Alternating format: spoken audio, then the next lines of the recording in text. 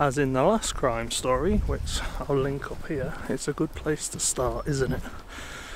So, in 1937, that was one of the most infamous addresses in the whole of England.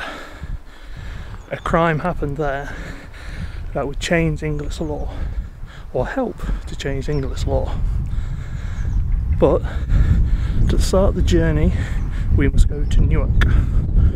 And so, see me in Newark.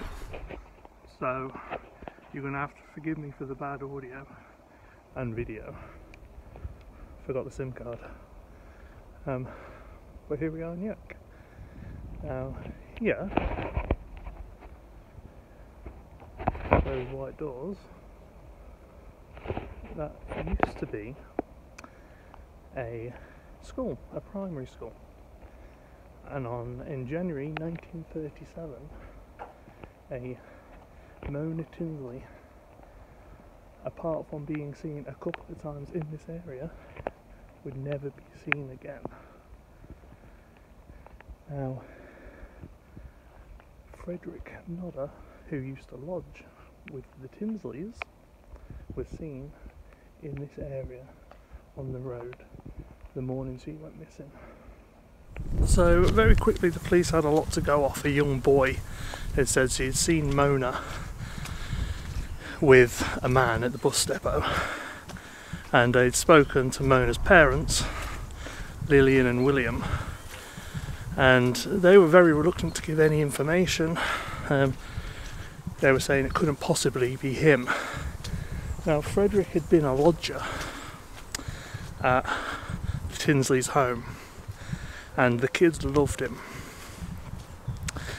Um, so they were very adamant that it couldn't possibly be him. Uh,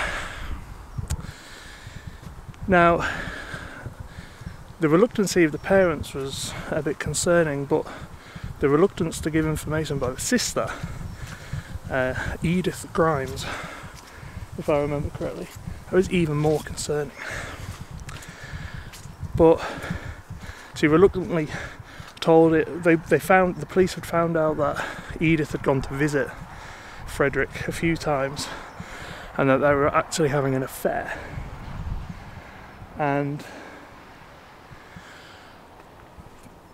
and then the boy had spotted Mona with somebody, and then a witness said named Frederick Nodder as being seen with Mona, and another witness saw Frederick outside that middle address.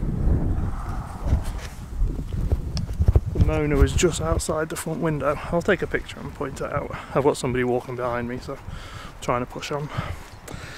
Um, so now the police were convinced convinced that it was Frederick Nodder. Um, a witness to Edith Grimes said that Frederick was around Edith's house quite a lot and that they had even seen Frederick Nodder driving a lorry marked Retford. So we are on the outskirts of Retford here. The police tracked down the firm and the firm gave us the address of here and that's when a witness said, "Oh, I saw Frederick with a with a kid just outside that address."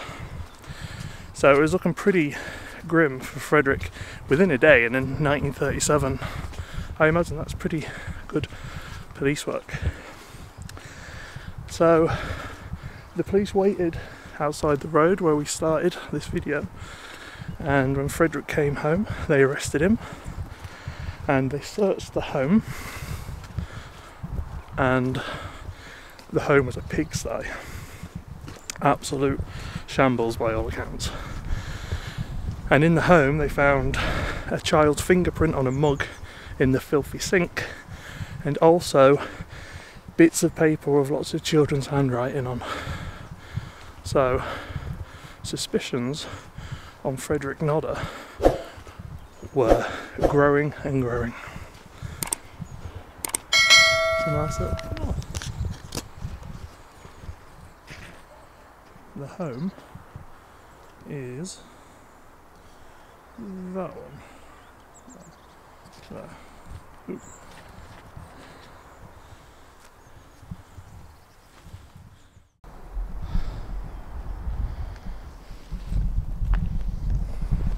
Oh, it's a very pleasant area. Um, so Frederick Nodder was feeling the heat of a lot of circumstantial evidence. It turns out Frederick was asked to leave the Tinsley's home because he never paid any rent and he was a raging alcoholic. Now, the only thing the police could keep Frederick on was non payment of an affiliation order. And Frederick was in the cells and denied all involvement of the disappearance of Mona Tinsley, so I forget up close.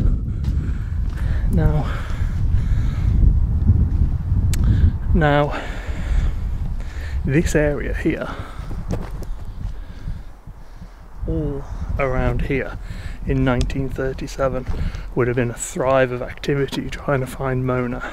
It became the biggest case in England. They, everybody was convinced that they knew who had done it. Look at that sunshine.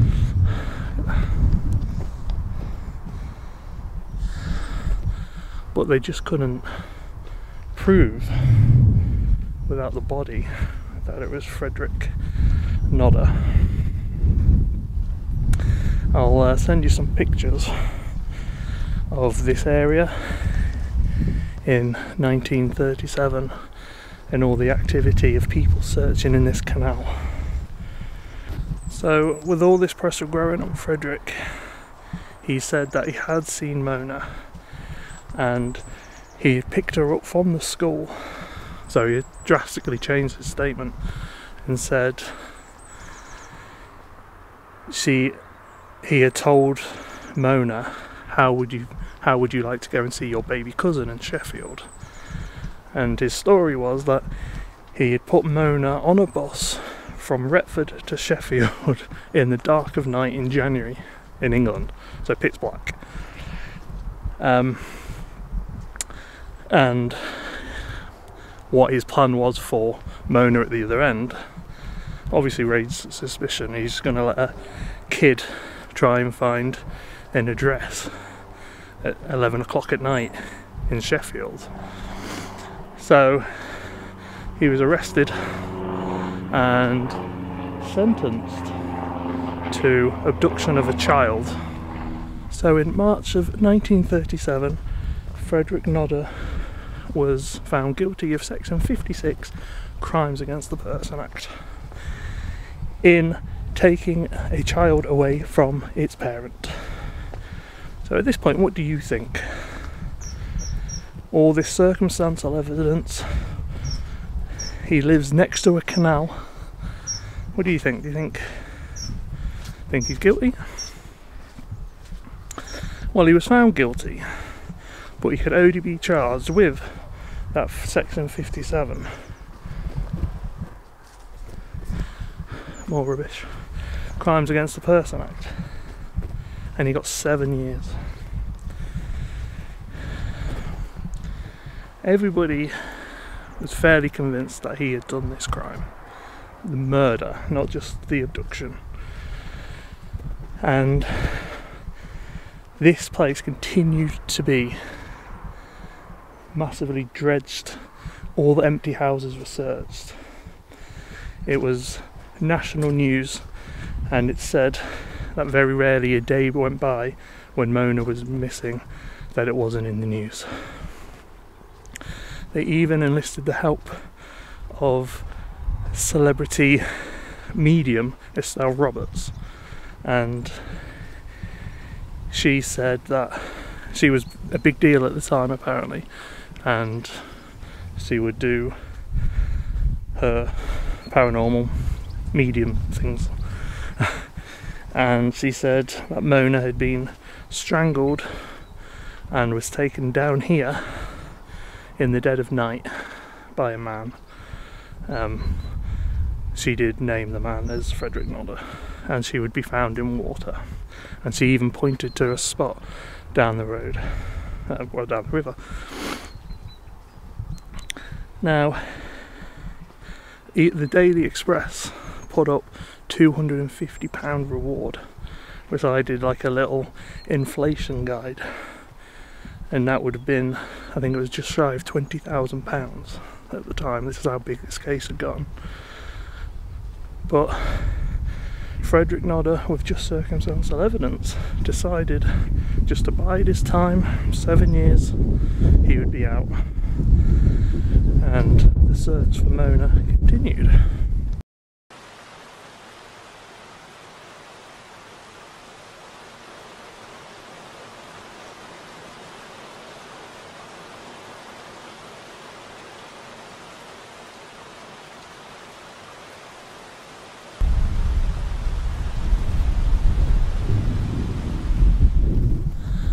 I really do, do go to some remote parts of this country to do these videos. I was going to the Golden Gate Bridge a couple of years ago. Now I'm going to the Fred Bloggs' gate in Retford. Um, so why? So why is there? Why was the rule of nobody, no murder? That was because in the 17th century, a William Harrison, I think it was, went for a walk and he never came back. And his servant, his brother, and his mother were hung for the murder of this William. Two years later, William turned up saying he was abducted and sold into slavery in the Ottoman Empire. So since then, there was like a oop. If there's no body, there's no murder. We're not risking this again. Um, so that's why this law was in. But this case, because of how high profile it was, um, got people talking about it and concerned about it because if you're like me, he seems very guilty of this crime. Everything points to him there's been three people that's seen her with him and she's gone missing. And sees a was it, it was 11 year old girl. Um, so it got raised in public profile and now Nodder just thinking oh I'll just chill out and bide my time in prison. I've gotten away with murder. It's only seven years. Well unfortunately for everybody in this stretch of water we are in right now, Mona Tinsley was found by somebody rowing, I believe, an off duty police officer with his three sons. Found the body and knowing it was a body, um, the guy, I, I don't think history reveals his name, told his son to go and make a phone call and police took the body into, can you see that white building? You won't be able to hear me now. See that white building?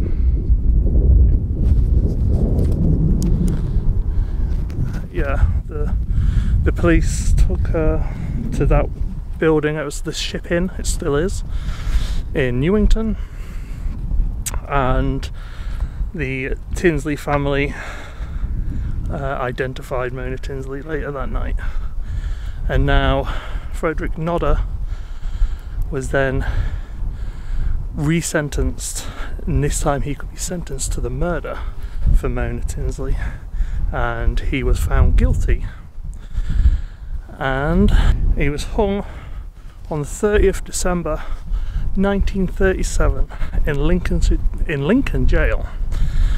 And I wish I knew I was going to do this video in the future because many years ago I did a tour of Lincoln Prison because they were doing family and friend tours and I saw where the gallows were in Lincoln. So I could have uh, rounded this video off better.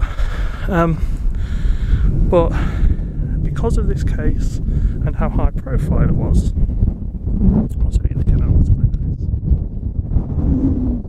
that wind's a bit of a killer. Because of how high profile it was they revisited this law of no body, no murder, and it was changed in the 1950s, I believe. But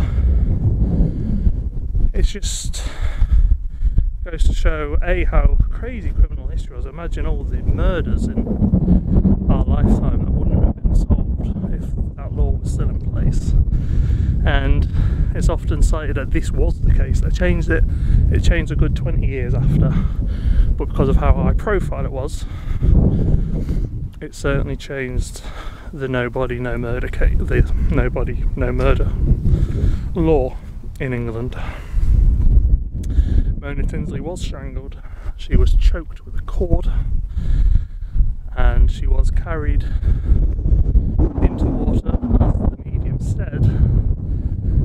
This this spot is about ten miles upstream or downstream. I don't really know which way the streams go, but along the same stretch of water. Um, Nodder never did say what he did, um, but he was hung in Lincoln Prison. One of the last hangings in Lincoln Prison. I think there's only about five more after that. Um, so that brings a conclusion to the video.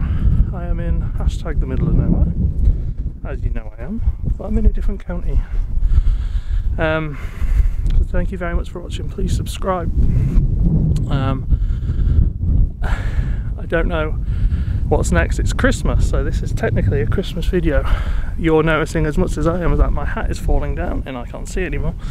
Um, so I hope you all have a great Christmas. Thank you for watching my videos the last few months.